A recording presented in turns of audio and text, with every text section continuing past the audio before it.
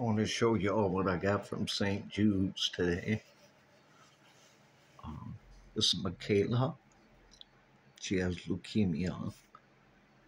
And um, they sent me a calendar the kids drew, painted, or crayon, whatever they did, markers. These are the different kids. It's a calendar for the new year coming up. All the kids. People help when they give to St. Jude's.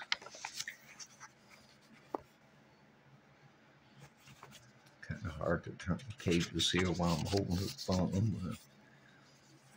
The Easter Bunny.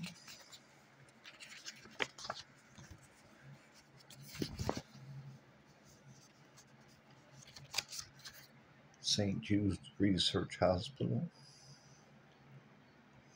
501 St. Jude Place, Memphis, Tennessee, 38105. And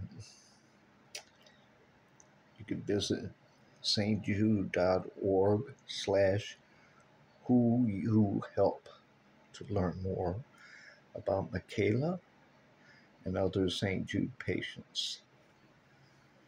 I just thought that was cool. You know, I'll keep it hanging on the wall when the new year starts, which it won't be long.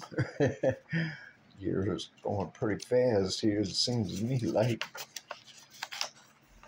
Starts in January. So I'll probably hang that up tomorrow. Just thought I'd show you that. Pretty cool. Love from the children. All right, y'all. Peace.